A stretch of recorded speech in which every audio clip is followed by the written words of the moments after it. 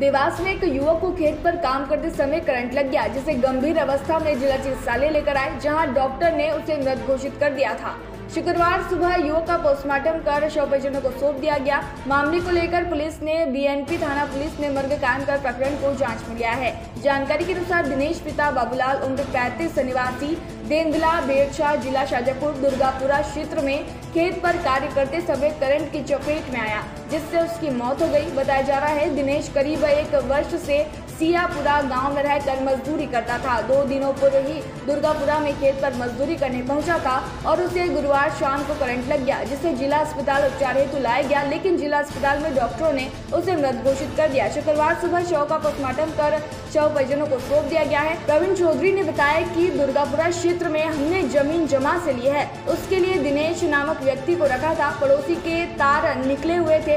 Boundary में touch होने से दिनेश का हाथ लग गया अस्पताल लाने पर उसे मृत घोषित कर दिया। मामले को लेकर बीएनपी थाना पुलिस ने मर्ग कायम कर प्रकरण को जाँच में लिया है। ये दुर्गापुरा गाँव की है खेत में पानी फिर रहा था। हाँ। दिनेश नाम है उसका। उसका पिताजी का नाम बाबूलाल है। ग्राम झंडा के रहने वाले हैं। और जहाँ अस्पताल लेकर आया तो डॉक्टर ने मृत घोषित कराया तो क्या वहाँ पे काम करते थे दुर्गापुरा में? दो दिन पूर्व पानी फेरने के लिए नौकर रहा था।